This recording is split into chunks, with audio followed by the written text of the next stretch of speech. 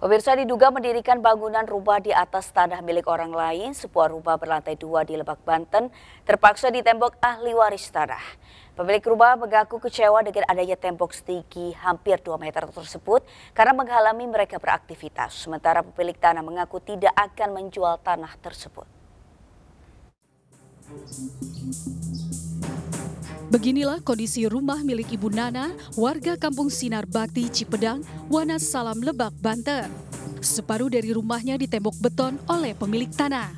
Diduga pemilik rumah melakukan pembangunan rumah di tanah milik orang lain.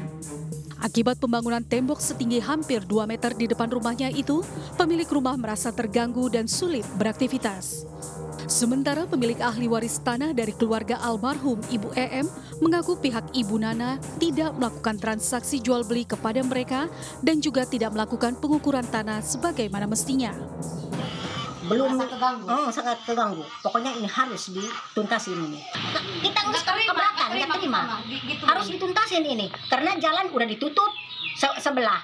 Buat apa itu? Belum selesai masalah, udah ditutup. Kami keberatan, Pak. Gitu aja.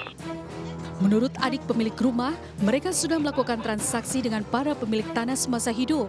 Pembelian tanah dilakukan sebanyak dua kali dengan total luas 114 meter persegi.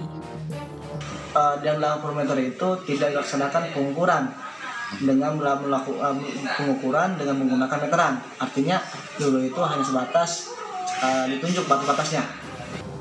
Pihak desa sudah melakukan mediasi kedua belah pihak, namun hingga saat ini belum ada titik temu.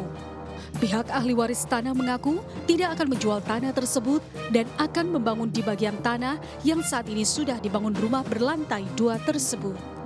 Dari Lebak, Banten, Iskandar Nasution, iNews melaporkan.